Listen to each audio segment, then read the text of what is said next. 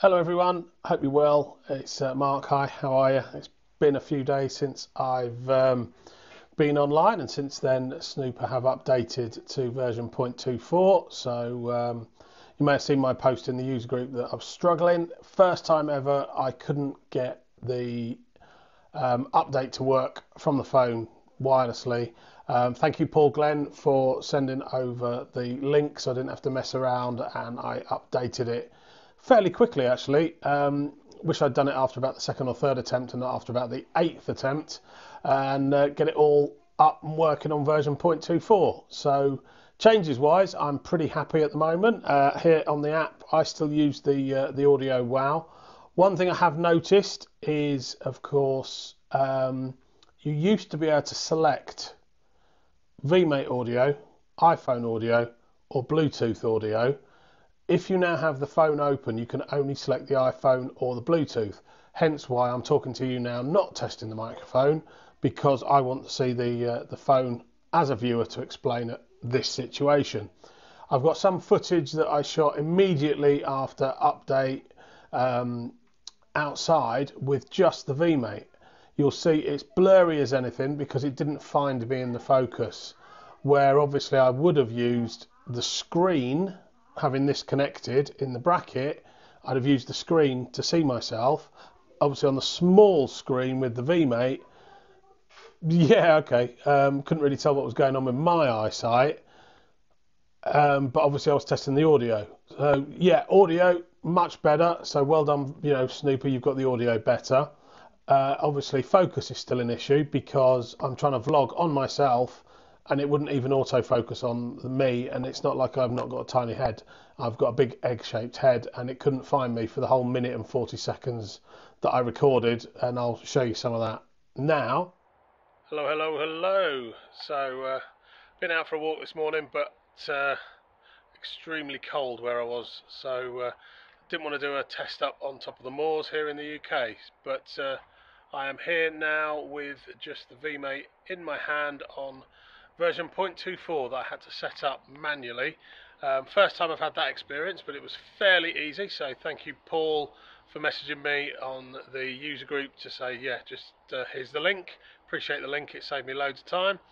So this is just a test to see the new microphones while I'm uh, walking just outside my house. I'm hoping I'm in focus because the one thing I've not been able to do is set any form of um, manual focus by uh, using the screen, um, which you would do in the app. And I've noticed in the app there was no option to use the VMates microphone. It's either it, was just going straight to the iPhones. So obviously, if you're out and about and just want to point and shoot, then this is the way to do it. But it would be nice to still have the phone in the bracket for a viewer and still be use the uh, the mics. But uh, really, I think this is going to be useful for webcam um, I've tested the webcam, I've tested the drive, and it all seems to be working. So if the mics are working as well, then um, the update that they said they've done has worked well. Just hope I've stayed in focus throughout this little video. Take care, everyone. See you soon. Cheers. Okay, welcome back. So, based on that alone, audio test wise, great. Um, it's such a shame that they've changed it in the app, so it's either VMate only, um, using the mics only, which I get, I, I, suppose. If you just take that out and it's in your pocket, you want to do a, a quick film and record, you're going to get much better sound. Obviously, if you want to use the uh, app, they're forcing you to uh, use either the iPhone's mics or an external mic, which again is probably better from a filming point of view. Um, and I will always have this mic on. I like this. This is the Audio Wow that I've had a while now, and it works a treat in this process because this is Bluetooth and obviously the phone to the VMate is wireless. So yeah, test wise, audio better, well done. Um, on the update 0.24, what else did they do? They have made it a webcam, does work as a webcam. I've not been able to again control it in the app. The app will not connect when it's hardwired into a PC. Um, I will be trying it on my new iPad later. I haven't even unboxed the iPad yet. I just got it yesterday, so uh, we'll try that with one of the new iPad Airs. But it works on a PC. It's great as long as you put it up.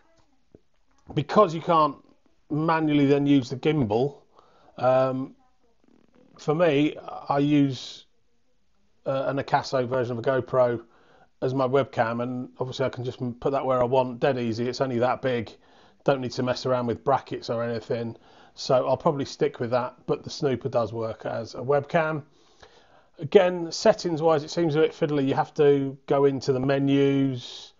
You can't. I've not been able to use the app to go into the menus. It's all on screen on the little two-inch screen, which is tiny. To switch it then to disk mode or charge only mode off USB. Um, if there was a way to use the app and switch those modes and control the webcam, as it were, use this as a remote control, that would be phenomenal. But it's working, guys. The update they said they're going to do is working. So, quick overview on 0.24 of the updates. I'm on iOS. This is my old iPhone 7. I actually do have a new iPhone 12 as well that came with the iPad. So I'll be testing on those later on. But uh, first videos, are okay. Now I'm on board. I just wished that my audio test outside would have found focus. But take care. Cheers, guys.